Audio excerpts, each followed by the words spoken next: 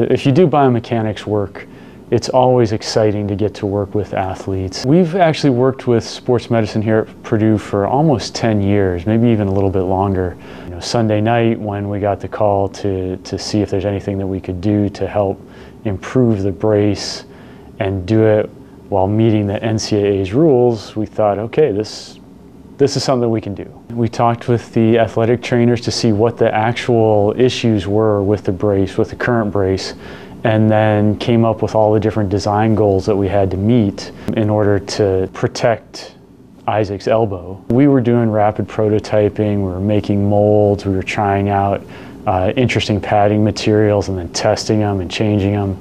What finally brought it all together was kind of an old school thing. We actually went back to some leather work because we needed to make sure that he wouldn't be able to lock his elbow out. And since we weren't allowed to use anything rigid, the leather straps and the leather uh, workmanship that one of our students just already knew how to do was fantastic. This is actually kind of the perfect material for this. It was amazing to see all these kind of new and old technologies come together to make a, to make a brace, and I think we actually did a really good job.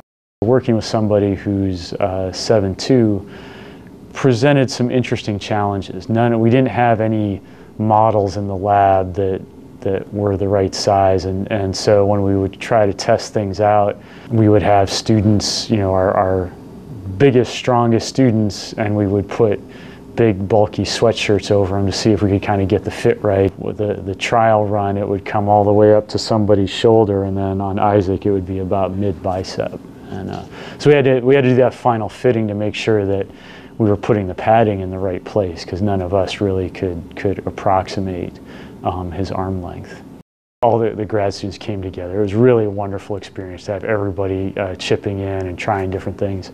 But one of the best things about it is the fact that, you know, Isaac and, and Vince and actually the, the whole team are really stand-up guys. The, the, this is a, a, wonderful group to work with. So as soon as you meet them and you, and you interact with them, you know that they're, they're very good people. My students and I were really driven to make sure that we, could, we did the best job that we could right? So given the time constraints, we, we gave pretty much every hour that we had, we were, we were working on it. And, uh, and it was exciting.